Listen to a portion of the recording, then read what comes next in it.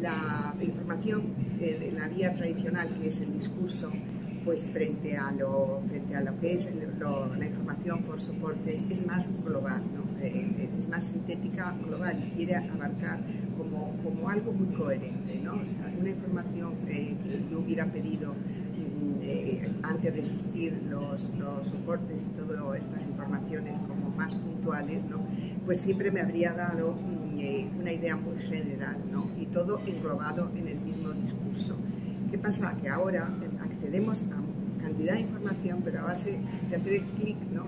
vamos por fases, vamos un poco a trompicones, lo cual no pasa nada en, en, muchos casos, pero que en otros sí que se pierde esa perspectiva global que el discurso da. Ya carecemos de discurso en ese sentido y a veces eh, esto puede ser un inconveniente.